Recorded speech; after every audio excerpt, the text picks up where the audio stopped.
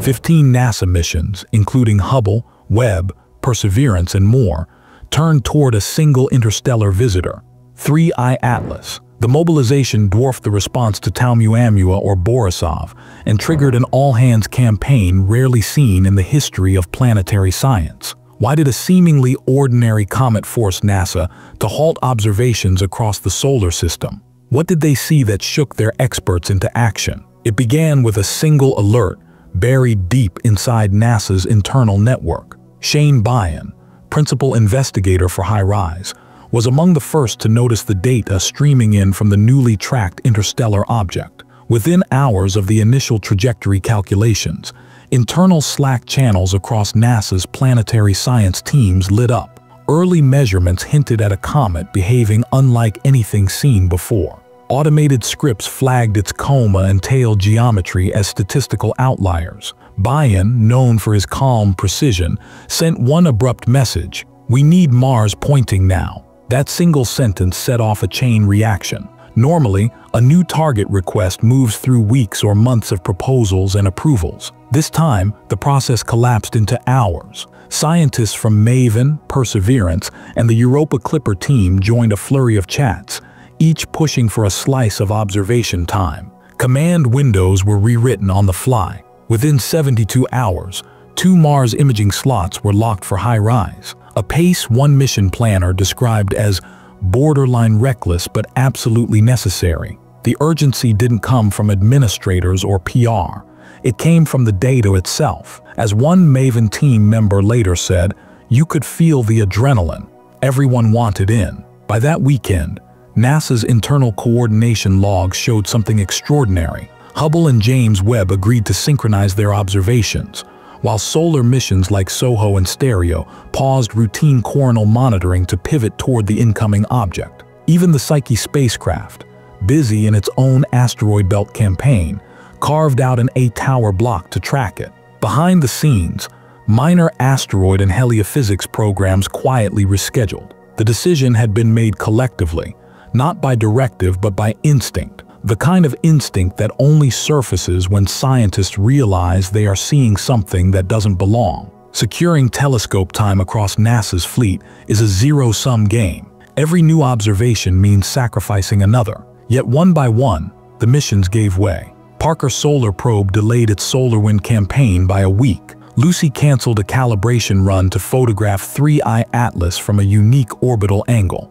Mars Reconnaissance Orbiter postponed its annual polar cap survey so HiRISE could track the object's path. Even Webb's exoplanet team agreed to shift a long-planned transit study, a rare concession that required international sign-off. By mid-July, NASA's schedule looked like a game of musical chairs. SOHO and Stereo, usually relentless in monitoring solar eruptions, redirected their sensors. Psyche, Lucy, Maven, Parker, Hubble, Webb all focusing on one traveler. It hadn't happened before, not even with Oumuamua. In internal memos, the phrase transformative opportunity appeared again and again. Cross-mission timetable shifts are reserved for events that promise a fundamental leap in knowledge. NASA had just declared, in bureaucratic language, that this object might change cometary science forever. When the first images arrived, that possibility no longer seemed exaggerated. On July 21st,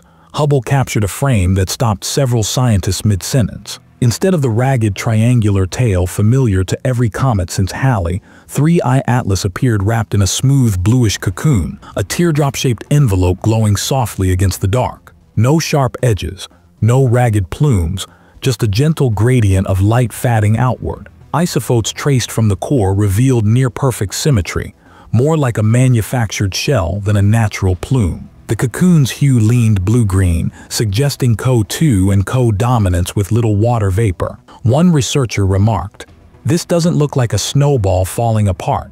It looks hardened, built to endure. At almost the same time, Emily Martin's Maven team recorded a separate shock. Between September 27th and October 6th, the ultraviolet spectrograph mapped a hydrogen halo spreading farther than any comet should at that distance from the sun. Hydrogen halos form when sunlight splits water molecules, so the sheer scale implied that massive volumes of water were venting from deep inside. This isn't surface frost. Martin noted. This is internal. Those two findings, the hardened cocoon and the deep-sourced vapor, cracked the classical comet model wide open. Normally, comets are porous rubble piles.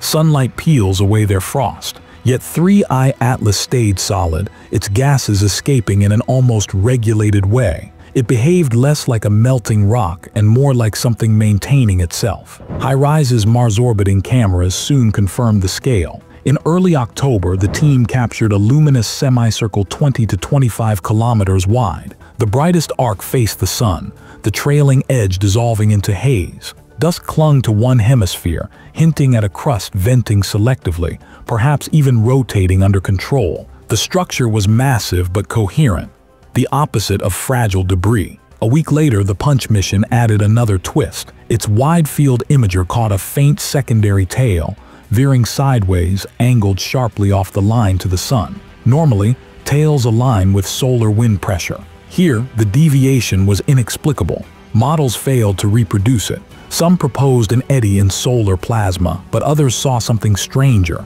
asymmetric jets acting like thrusters beneath a crust. Then came Psyche's turn. Over eight hours of tracking, the spacecraft's navigation team recorded precise positional data. When plotted, the path showed tiny, rhythmic deviations, small, deliberate nudges. Gravity alone couldn't explain them. During a live mission call, an analyst reportedly gasped, realizing what the residuals meant.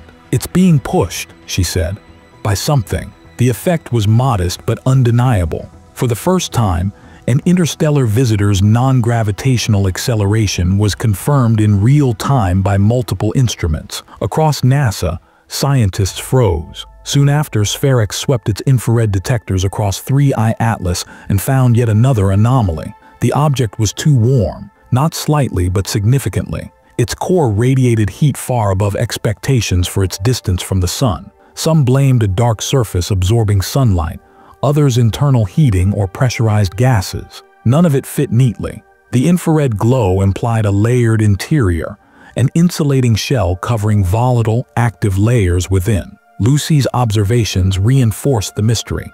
From millions of kilometers away, it tracked the object's brightness as the viewing angle changed. Normally, Brightness drops as the phase angle widens, but 3I Atlas's light curve stayed almost perfectly flat. It reflected light uniformly, as if its surface were engineered for consistency. SOHO brought a surprise of its own. In visible wavelengths, the object was barely detectable, yet infrared telescopes recorded strong emissions. That mismatch suggested large, dark grains or materials that absorb light but re-emit as heat a composition alien to solar system comets. And then James Webb delivered the blow that sent everyone back to the drawing board. Its spectra showed absorption lines that matched nothing in existing databases. Not silicates, not simple organics, not any combination of known ices. Some bands hinted at ammonia hydrates and exotic carbon chains. Others defied classification entirely. Whatever 3I Atlas was made of, its chemistry came from conditions colder or stranger than anything near our sun. By November, the gallery of data looked like a jigsaw puzzle from another universe. Hubble's cocoon, Maven's vast hydrogen halo, HiRISE's dust semicircle, Punch's crooked tail, Psyche's course shift, SPHEREx's warmth, Lucy's steady brightness, SOHO's faint optical trace, and Webb's alien chemistry. Together, they refused to form a normal picture. Standard comet theory collapsed under the weight of contradictions. The nucleus stayed whole where others fragment. Its gas release was uniform, not chaotic. Its tail bent the wrong way. Its temperature was too high. Its reflectivity too stable. Its composition too foreign. One by one, veteran scientists began to admit it. The textbook definition of a comet no longer applied. Inside NASA, debate became philosophy. Some argued that 3I Atlas must be a fragment of an exomoon crust ripped from a frozen satellite during a collision light years away. Others proposed a planetesimal born in the farthest reaches of a protosystem, layered by cosmic radiation and preserved for eons. Another camp suggested it might be a survivor from a shattered world's core, a dense relic built to last the journey between stars. Whatever the truth, Every hypothesis carried implications that stretched far beyond this one visitor. For the first time, humanity was watching a messenger from another solar system up close, not a fleeting blur like Oumuamua, but a sustained observation campaign covering the entire electromagnetic spectrum. And the message it carried was clear. Our models are too small for the universe that created this.